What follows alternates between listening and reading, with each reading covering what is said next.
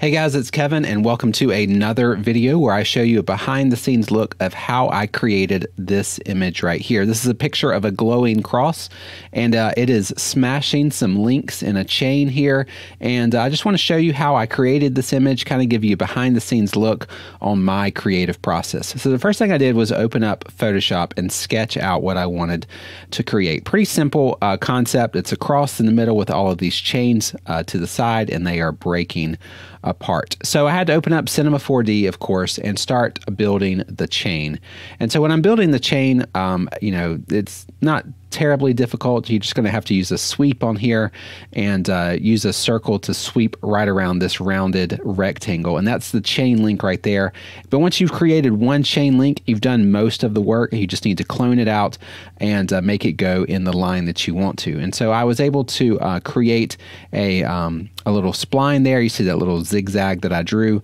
And then I just wanted to connect that uh, those chain links onto that spline so that they would be going um, in that direction. So this is just going to be one link on the left side of the uh, the picture. So I'm going to have to duplicate this in a minute, uh, but I, I got it the way I wanted it to look. And then um, I added some rigid body tags on it so it would fall down to the ground and look a little bit more realistic. And then I'm able to uh, make another uh, chain link on the other side. So now we have a left side and a right side. These are two cloned, uh, two cloner, you know, layers here with that spline and those chain links. Um, and once I've got that, then I can go ahead and add my cross in there, which is very simple. It's just two rectangles, essentially two cubes that are stretched, and uh, that's going to go right in the middle of them. Now the hard part is this part, and this is when I have to start breaking apart these chains. So I just create one link that goes right on the end of these chains. I don't want the entire chain to break. I just want that that one chain link uh, to break on each side. So I use a Voronoi uh, uh, uh, break, you know, here the, to, to break everything up, and the fracture effects going on here.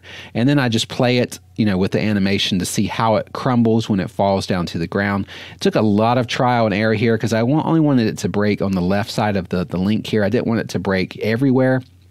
So it did take a little bit of practice here, um, and just you know figuring out what looks the best. Um, but so I spent most of the time. This is about an hour and a half in in Cinema 4D, and I spent most of the time right here is working on these these fractures here.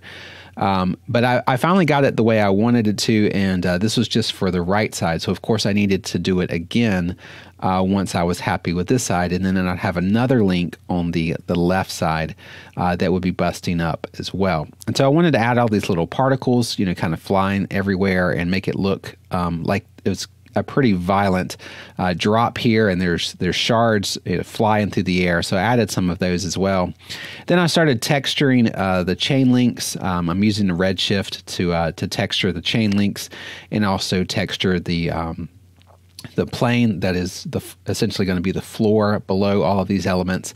Um, and then I just just so I could get an idea of how everything is coming together. And then once I finished the texturing, I just added uh, another chain link on the left side and just kept playing that animation over and over, trying to make it look as realistic and as interesting as possible. So you see all of these different uh, fractures going everywhere, and uh, they're just kind of busting around. And uh, it took a lot of practice, a lot of uh, tries to get it to the way I want it to look. I tried different colors, I tried different angles, I tried uh, different uh, settings on the uh, the gravity and all that stuff right there, and just uh, I wanted it to get look to look as as good as as it could, and so I spent a lot of time just you know trying to, to work on these these little details here.